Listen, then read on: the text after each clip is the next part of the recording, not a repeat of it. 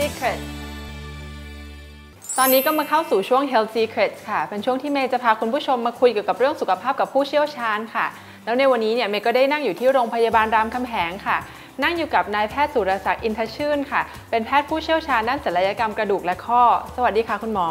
ครับค่ะ วันนี้เมย์จะมาขอความรู้คุณหมอเกี่ยวกับเรื่องโรคไหลติดค่ะ โรคไหลติดเนี่ยมันเป็นยังไงคะเนี่ย คือคำว่าโรคไหลติดนี่ครับเป็นอาการของไข้ไหลติดค่ะจะมีอยู่ 2 ประเภทคือค่ะเรียกว่าไหลติดปลอมนะครับหรือไหลติดเทียมกับไหลติดค่ะจริงไหลติดปลอมการไหลครับการไหลติดค่ะปลอมนี่คือคือคนไข้จะมาด้วยอาการเจ็บข้อไหล่อืมแล้วไม่ยอมเคลื่อนไหวข้อไหล่อืม ซึ่งการเจ็บข้อไหล่นี่ก็จะมีด้วยหลายสาเหตุก็อาจจะหนึ่งจากจากการอักเสบของเนื้อเยื่อรอบๆ ข้อไหล่เช่นตั้งแต่เอ็นอักเสบค่ะกล้ามเนื้ออักเสบค่ะเยื่อบุข้ออักเสบอืมหรือตัวข้ออักเสบเมื่อคนไข้เจ็บปวดเนี่ยค่ะคนไข้ก็ไม่เคลื่อนไหวอ๋อข้อไหล่ก็จะมาหาหมอด้วยค่ะไม่เคลื่อนไหวไม่เคลื่อนไหวอืมกับการข้อไหล่ติดจริงค่ะข้อไหล่ติดจริง อันนี้เกิดการยึดติดของเนื้อเยื่อรอบๆ ข้อที่เยื่อบุข้อกับกล้ามเนื้อรอบข้อนี่มีการยึดติดเกิดขึ้นค่ะก็ทำให้คนไข้ไม่เคลื่อนไหวอืมเพราะฉะนั้นเราจะรู้ได้ยังไงว่าคนไข้ไหลติดจริงหรือไหลติดเทียมค่ะ หรือว่าอย่างเงี้ยรู้ว่าไหลติดแท้จริงเนี่ยนะครับ เราก็แรกเริ่มเลยหมอก็จะให้คนไข้เคลื่อนไหวให้หมอดู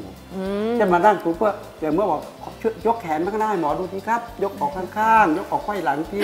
เกาศีรษะได้ไหมอย่างเงี้ยค่ะนะครับ ถ้าคนไข้เคลื่อนไหวได้ หรือเคลื่อนไหวได้เล็กน้อย ก็อาจจะเป็นการเคลื่อนไหวติดไหลติดเพราะปลอมอ๋อนะครับเพราะว่าจริงๆคนไข้ไม่เคลื่อนไหวเพราะเจ็บปวดอืมนะครับค่ะ ไก่พวกหนึงก็คือเคลื่อนไหวไม่ได้เลย แล้วไม่เจ็บไม่ปวดอืม แล้วพอให้คนไข้เคลื่อนไหวเสร็จแล้วเนี่ยหมอก็จะตรวจคนไข้เองค่ะก็จะมาจับแขนจับไหล่คนไข้เคลื่อนไหวดูว่าอืมมันเคลื่อนไหวไหมเพราะว่าในข้อไหล่เนี่ยนะครับค่ะมันมันมันสามารถเคลื่อนไหวได้โดยจากกระดูกข้อไหล่อ๋อกับกระดูกสะบักเคลื่อนไหวบนซี่โครงค่ะนะครับเพราะฉะนั้นแพทย์ก็จะจับดูว่าจริงๆเนี่ยการที่คนไข้เคลื่อนไหวเคลื่อนไหวเพราะกระดูกสะบักบนค่ะซี่โครงหรือ กระดูกข้อไหล่โดยตรงก็สามารถที่จะวินิจฉัยโรคข้อไหล่ติดได้ค่ะ แล้วโรคไหลติดเนี่ยจะมีอาการอะไรฟ้องมาก่อนไหมคะ หรือว่าจะค่อยๆ ปวดหรือว่าจะยังไงเอ่อว่ามันไม่แน่นอนนะครับคือถ้าเป็นภาวะของการอักเสบเนี่ยจะเกิดบางครั้งเกิดอาการทันทีทันใดอืมนะครับเกิดขึ้นมา เพราะฉะนั้นอยู่ดีๆแหมเจ็บไหล่ขึ้นมาเลยนะครับเจ็บเจ็บไหล่ขึ้นมาแล้ว ส่วนใหญ่พวกนี้มักชอบปวดกลางคืน ปวดรบกวนเวลานอนบางคนนอนเนี่ยนอนตื่นมาปวดเลยนะครับอ๋อไก่ค่ะพวกหนึ่งกับที่ปวดที่เจ็บจากเอ่อเล่นกีฬาพอไปเล่นกีฬากลับมาแล้วก็เจ็บไหล่ยกข้อไหล่ไม่ได้ อันนี้ก็ก็จะทำข้อไหล่ติดนะครับค่ะแล้วอีกอันหนึ่งเมื่อติดแล้วแพทย์จะรักษาอย่างไงนะครับ ก็หนึ่งเริ่มต้นจากเอ็กซเรย์ธรรมดาอืมดูรูปของกระดูกของข้อไหล่ค่ะว่าเป็นยังไงมีหินปูนเกิดขึ้นหรือไม่มีความผิดปกติของในส่วนของกระดูกสะบักขึ้นค่ะหรือไม่เพราะบางคนที่กระดูกสะบักผิดรูปร่างตั้งแต่เกิดเนี่ยนะครับอืมพอใช้งานไปแล้วมาก็จะเป็นโรคอ๋อข้อไหล่ติดตามมาค่ะเราเรียกโรคพวกนี้ว่า impingement syndrome ที่เกิดจากกระดูกตัวนี้ผิดค่ะรูปร่างคือเป็นรูปปากนกแก้วติดเข้าไปที่กล้ามเนื้อในการยกข้อไหล่อืมค่ะหรืออาจจะมีหินปูนเกาะค่ะถ้าเอ็กซเรย์ถ้าเอ็กซเรย์ไม่เห็นอะไรผิด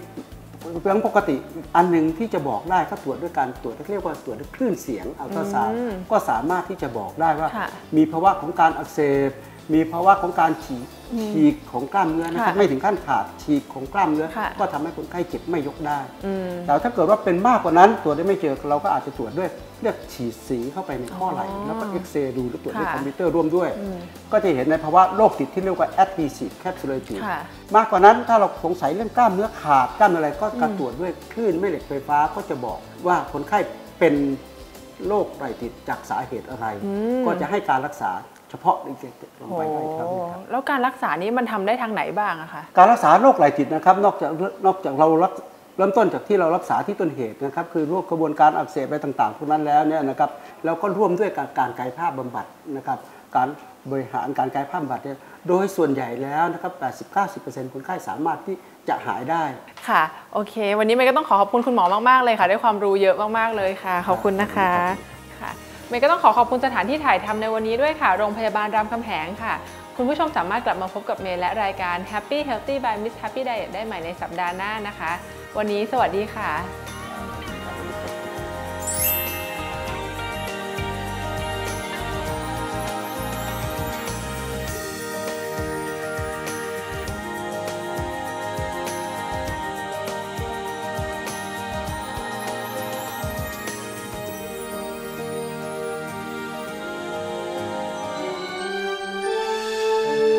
นิว 18